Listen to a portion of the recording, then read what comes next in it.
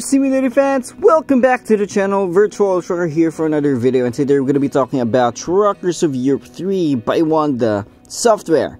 That is because, ladies and gentlemen, the game developers have announced the first introduction of the double trailers for Truckers of Europe 3.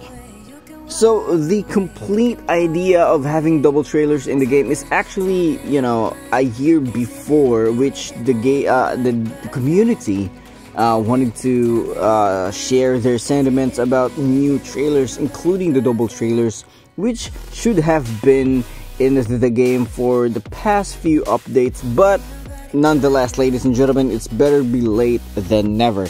So we are going to talk about that in this video. But before anything else, I would like to invite you over to join Wanda Software's official Discord server. Link will be down in the description box below. And of course, like and follow me on Facebook at Virtual Trucker 26 so that you will never miss current and upcoming Truck Simulator game news and more. So without further ado, ladies and gentlemen, this is what the game developers have said and at least unveiled to us a glimpse of their upcoming update. So the game developers said, Hello everyone, today we would like to announce to you the B-Double trailer feature we are working on. It will be added to Truckers Europe 3 soon as a new brand with many options and chassis versions. Here are a few screenshots from the new trailers. Happy New Year!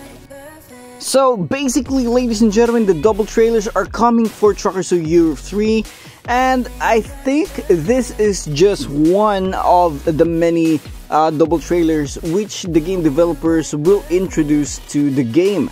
So yeah, here are some of the screenshots in which the game developers had shared with us. And if you look closely here, ladies and gentlemen, you can see the base of the double trailers. We have uh, the first trailer with the dolly and of course the rear trailer. Now that is not only limited to those kind of trailers because we could see a closed van, probably a, a curtain sider, um, and of course we can see the complete double trailer right here. Now that, now that is actually really nice guys, especially if you're hauling like a Scania truck or uh, probably a Volvo truck, and that would look amazing. Now, mind you, ladies and gentlemen, all you see there can still be subject to change. So, if you have seen something that is not in your delight, do comment down below so that the developers will see and know what are your thoughts about it.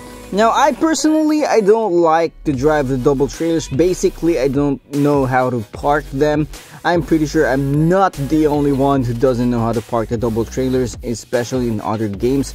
They are just difficult to steer and something like that. I'm not an expert, you know, so yeah. Uh, but I do love hauling these double trailers, just not my type, especially when, you know, backing up the trailer but I'm sure there are hardcore fans who does love driving the double trailers. I personally not a fan, but yeah, if the uh, condition is you know met, I will drive a double trailer once. so does that mean a triple trailer would be available for the game? I'm not sure, but do comment down below, guys. What kind of trailers would you like to see? What kind of double trailers would you like to see the game developers add to the game? You comment down below. And of course, if you do like this video, please consider giving this video a like. It really helps the channel a lot.